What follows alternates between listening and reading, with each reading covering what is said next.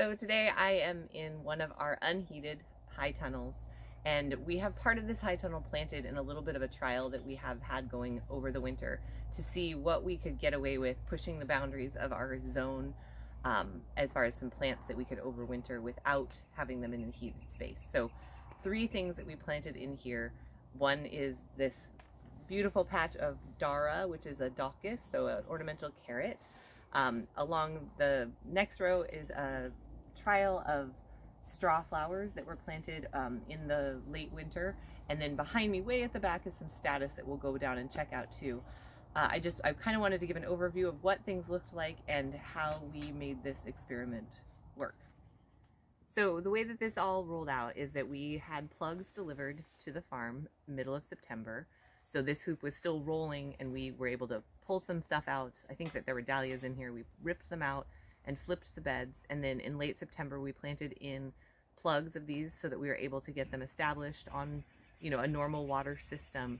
And then we shut off the water pretty much completely over the winter just to try to stave off any bacteria or um, fungus that we would might have.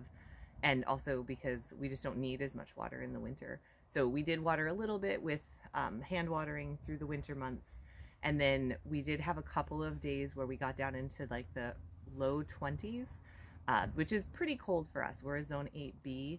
So those cold nights we were able to utilize a few um, propane heaters, which look like this.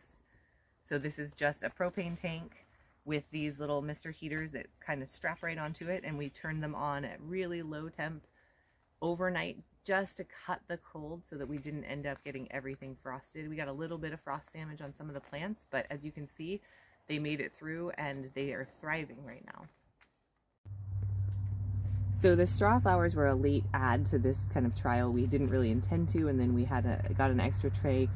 So I was actually super shocked that they've done as well as they can. You can, or as well as they have. You can see we did get a little bit of frost damage on them a couple of nights ago. Uh, and so we'll come through and we'll just kind of clip that out.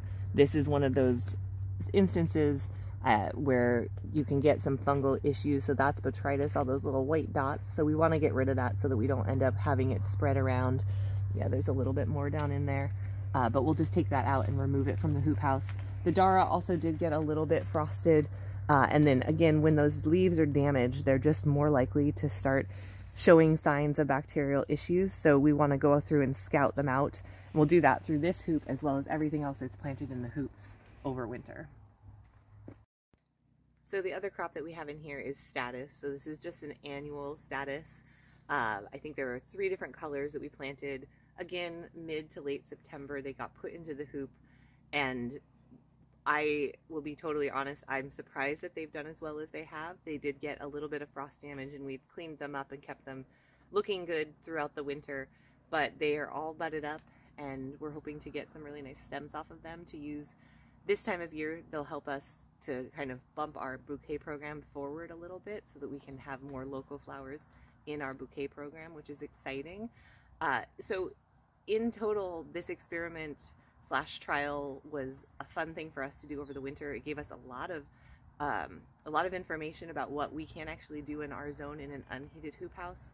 And it just kind of fueled my excitement to try more of these kind of things over the next winter. So look forward to trying some more things and sharing them with you when we do. Thanks for swinging by. See you next time.